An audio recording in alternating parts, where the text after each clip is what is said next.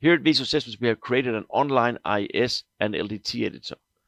Totally free to use. You basically just access the editor and you can just drag and drop any kind of IES file or LDT file to the editor and you are able to watch all the photometrics. So you can see we immediately get the complete lumen, lumen output, power rating, lumen per watt as well.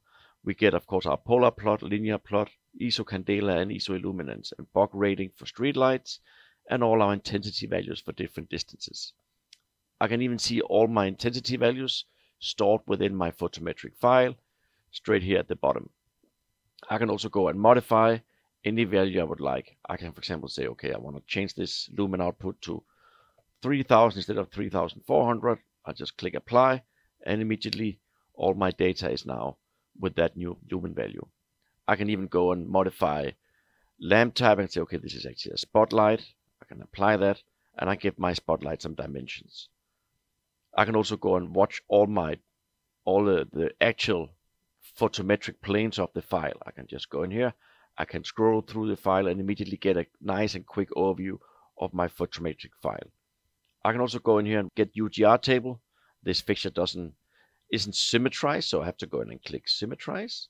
And as soon as I do that, I will see a before after picture of how the lamp was symmetrized.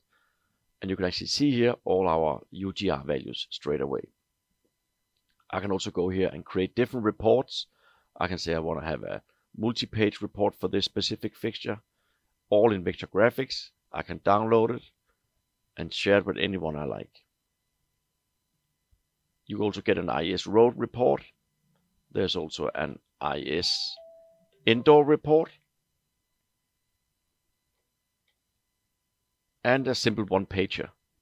You can then afterwards, you may, after you made your changes, you can simply go in and download to an IES file, LDT file, or a TM33 file, the new format. You can even go in and modify symmetry like you just saw. You can actually go in and say, I, I want to do V-symmetrize everything. I can symmetrize my IES and LDT files, and restore them. Super easy. Please let us know what you think. If you have any comments, click on support and write us a comment.